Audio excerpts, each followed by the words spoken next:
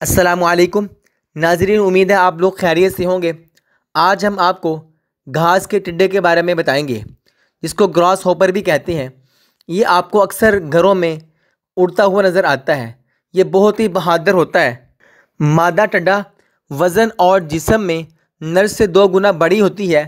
इसका रंग सबज घास जैसा और इसकी लंबी गर्दन और मुँह के अंदर ब्लेड जिसे तेज़ दांत होते हैं। ये मादा ज़्यादातर ज़्यादातर तो अकेला ही रहना पसंद करती है और अपने सामने आने वाले बड़े से बड़े जानवर से भी लड़ जाती है।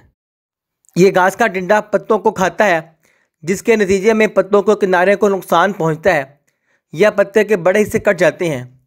ये टहनियों को भी कुतर कर खा जाते हैं और चावल की फलियों में अंडों की मौजूदगी और पीली और भूरी सुंडियों और बड़े टिड्डों का चावल के शाख और बर पर गज़ा हासिल करना ये इनकी अक्सर आदत होती हैं। इनकी नशो नमा के लिए आबी माहौल बहुत ज़्यादा मौजू होता है।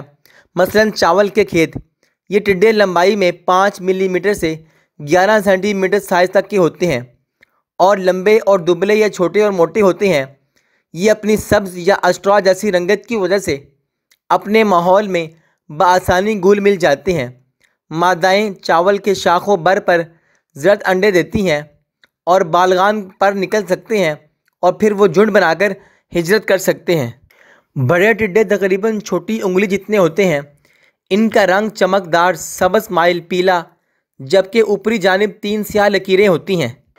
और ये ज़्यादातर घास के ऊपर रहते हैं और फ़सलों पर और दरख्तों के पत्तों पर बैठते हैं और वहाँ से पत्तों को खाते हैं और इनकी गज़ा दरख्तों के पत्तों को खाना और इस तरह के पौधों को, फूलों को उन पे ऊपर बैठते हैं और उनको खाते हैं।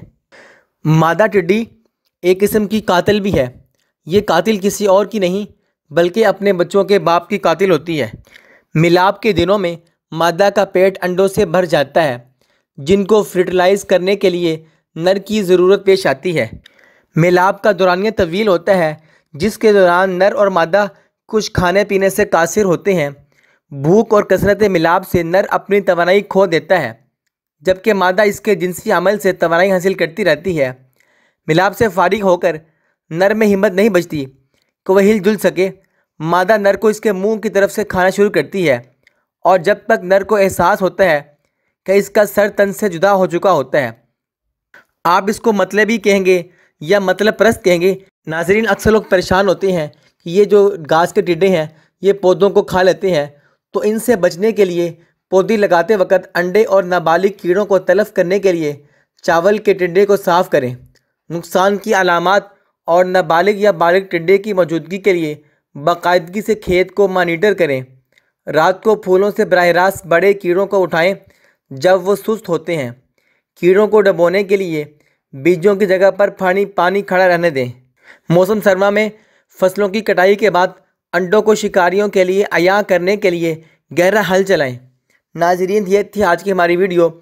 ग्रॉस होपर के मुतालिक, अगर आपको हमारी वीडियो अच्छी लगी हो, आप इस वीडियो को लाइक कीजिए, शेयर कीजिए, और हमारे इस चैनल को सब्सक्राइब कीजिए। मिलते हैं एक और वीडियो के साथ। तब तक के लिए अल्लाह हाफिज़।